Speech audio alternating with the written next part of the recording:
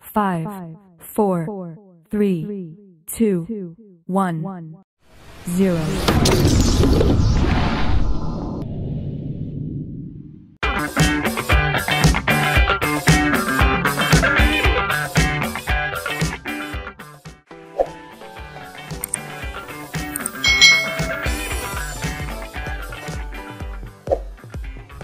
Hi, hi, hai Selamat datang di channel youtube Kak Citra Apa kabarnya adik-adik semuanya? Apakah kalian siap untuk belajar hari ini? Hari ini kita akan belajar bersama-sama untuk mata pelajaran tematik Tema 2 selalu berhemat energi Subtema 1 sumber energi Pembelajaran yang keempat Mari adik-adik kita belajar dengan penuh semangat. Sumber energi apa yang membuat lampu bisa menyala? Ayo adik-adik amati lampu di sekitar kalian. Mengapa ya lampu itu bisa menyala? Dari mana sumber energinya? Ayo kita pelajari bersama-sama. Salah satu sumber energi yang banyak digunakan di sekitar kita adalah listrik. Sumber energi listrik digunakan manusia sehari-hari untuk membantu aktivitasnya. Amatilah gambar berikut ini. Perhatikan gambar berikut adik-adik. Kita menggunakan energi listrik untuk membantu aktivitas kita sehari-hari. Contohnya, TV sumber energinya adalah dari listrik. Kulkas juga dari listrik juga. Lampu. Lampu sumber energinya juga dari listrik. AC, kipas angin, komputer, itu semua sumber energinya berasal dari listrik. Jadi, salah satu sumber energi yang banyak digunakan oleh manusia adalah listrik adik-adik. Coba kalian bayangkan jika tidak ada listrik, di sekitar kita. Kalau kita mati lampu saja, sudah bingung ya adik-adik ya. Nah, sudah uh, gelap, panas mungkin karena tidak bisa menyalakan kipas atau AC.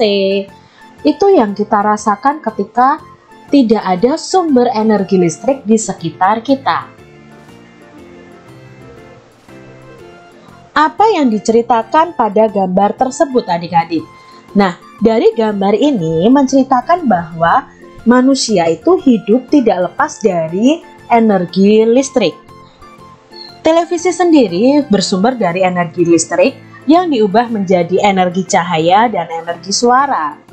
Jadi adik-adik dalam cerita gambar ini menandakan bahwa manusia juga tidak bisa lepas dari sumber energi listrik.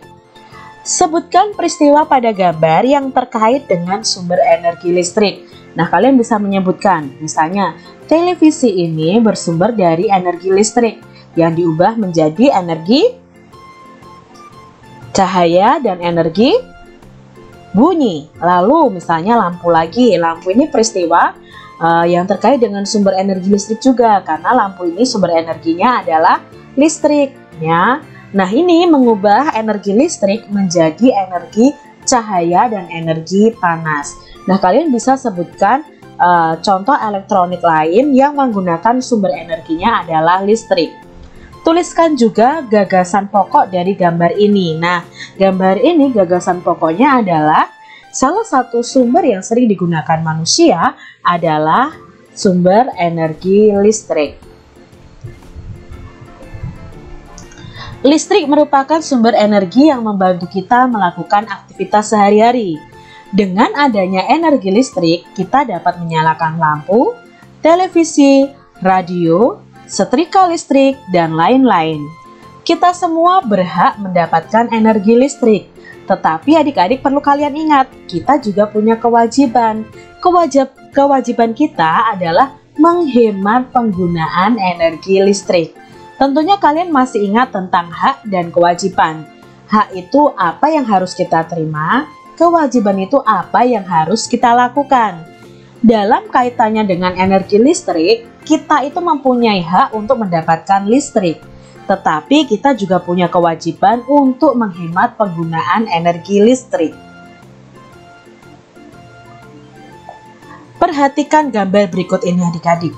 Di sini ada seorang anak yang sedang tidur, laptopnya menyala, suara laptopnya menyala, tetap ini ya, tetap dinyalakan, TV-nya juga menyala, tapi malah ditinggal tidur adik-adik. Nah, menurut kalian bagaimana ya gambar ini? Apakah dia sudah mendapatkan haknya? Yuk kita jawab pertanyaan berikut. Apakah kita berhak menyalakan televisi? Jelaskan.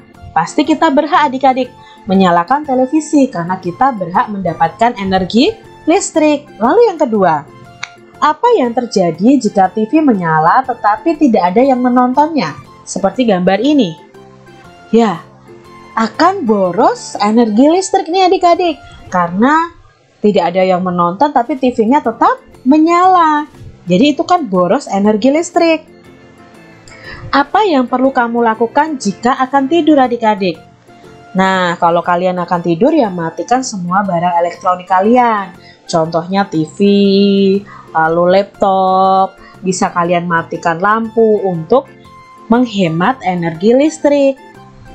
Apa yang di, perlu diperbaiki dari sikap pada gambar di atas? Nah, yang perlu anak ini perbaiki adalah harusnya dia mematikan semua barang elektronik sebelum dia tidur. Bandingkan dengan gambar ini adik-adik.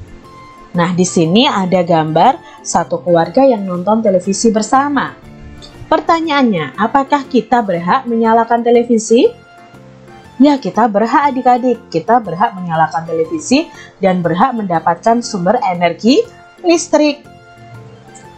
Apa manfaat kita menonton TV bersama-sama anggota keluarga? Nah, nonton TV bersama anggota keluarga itu ada manfaatnya. Bisa menjalin kekeluargaan, bisa akrab ya dengan keluarga, lalu bisa menghemat energi juga. Coba adik-adik bayangkan, ayah menonton televisi sendiri di kamar, ibu menonton di ruang tamu, adik menonton televisi di kamarnya mungkin. Itu akan lebih boros energi dan ada uh, kekurangannya di situ apa? Tidak ada rasa kebersamaan di dalamnya. Berikutnya, apa yang akan terjadi jika setiap anggota keluarga menonton televisi sendiri-sendiri? Apa yang akan terjadi adik-adik? Ya, tentunya boros energi listriknya. Lalu tidak terjalin kebersamaan. Itu akibatnya adik-adik. Lalu, hal baik apa yang dapat kita contoh dari gambar di atas? Hal baiknya ya, tercipta kebersamaan dalam keluarga. Jadi di situ ya kita bisa bercanda bersama, bisa menonton bersama. Itu adik-adik hal baik yang bisa kita contoh dari gambar tersebut. Nah, ini adalah langkah tepat untuk berhemat. Kak Citra ambil dari gambar dari PT PLN, nah perusahaan listrik negara. Nah ini adalah contoh langkah-langkah yang tepat untuk menghemat energi listrik. Yang pertama, matikan peralatan elektronik seperti TV, radio, VCD, dan lain-lain apabila sudah tidak digunakan lagi. Lalu yang kedua, usahakan menanak nasi pada saat mendekati waktu makan. Bila orang tua kalian menanak nasinya pakai rice cooker, itu mendekati waktu makan baru menanak nasi. Berikutnya, aturlah suhu lemari es sesuai dengan kebutuhan. Karena semakin dingin, maka semakin besar pula energi listrik yang dibutuhkan. Jadi, uh, suhu di dalam lemari es ini harus diatur. Karena kalau semakin dingin ya nanti energi listriknya juga semakin besar. Yang keempat gunakan mesin cuci sesuai dengan kapasitasnya untuk mengurangi beban pemakaian energi listrik. Jadi kalau mencuci ya kita mencucinya kalau baju kita sudah menumpuk agak banyak. Jangan cuma satu dua baju lalu dicuci itu boros energi listrik. Berikutnya, aturlah panas setrika sesuai dengan jenis bahan pakaian kita. Yang keenam, gunakan pompa air apabila air dalam bak penampungan sudah hampir habis. Ini adalah langkah tepat untuk berhemat energi listrik. Ada juga contoh yang lain yaitu seperti ini adik-adik ya. Kak Citra ambil dari Kominfo. Nah, adik-adik bisa lihat di sini bagaimana kita menghemat listrik di rumah kita. Dari pemakaian kulkas sendiri ya, pastikan pintu kulkas selalu tertutup rapat. Isi kulkas secukupnya. Jangan sering membuka pintu kulkas ya. Itu. Lalu untuk AC kalian yang di rumah kalian ada AC nih matikan AC bila ruangan tidak digunakan.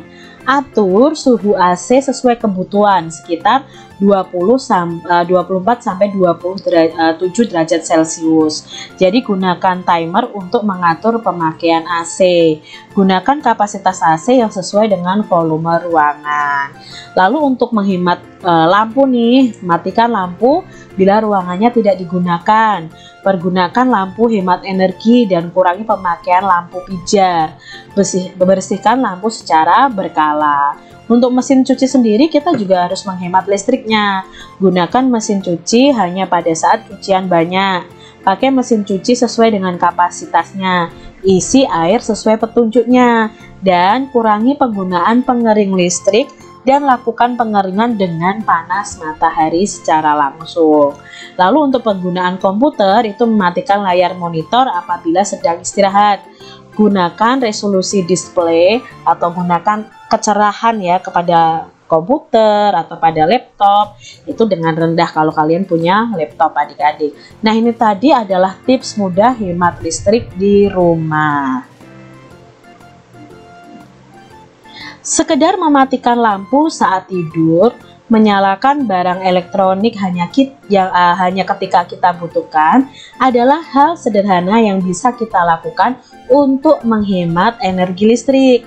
Menggunakan listrik dengan bijak adalah ketika kita menghematnya. Hemat energi listrik artinya kita sudah melaksanakan hak dan kewajiban secara seimbang. Jadi kita menerima hak kita, kita juga harus melakukan kewajiban kita. Demikian adik-adik pembahasan kita di tema 2 subtema 1 pembelajaran yang keempat. Semoga adik-adik semua dapat memahami apa yang Kak Citra sampaikan. Sampai jumpa kembali di video pembelajaran selanjutnya. Tuhan memberkati.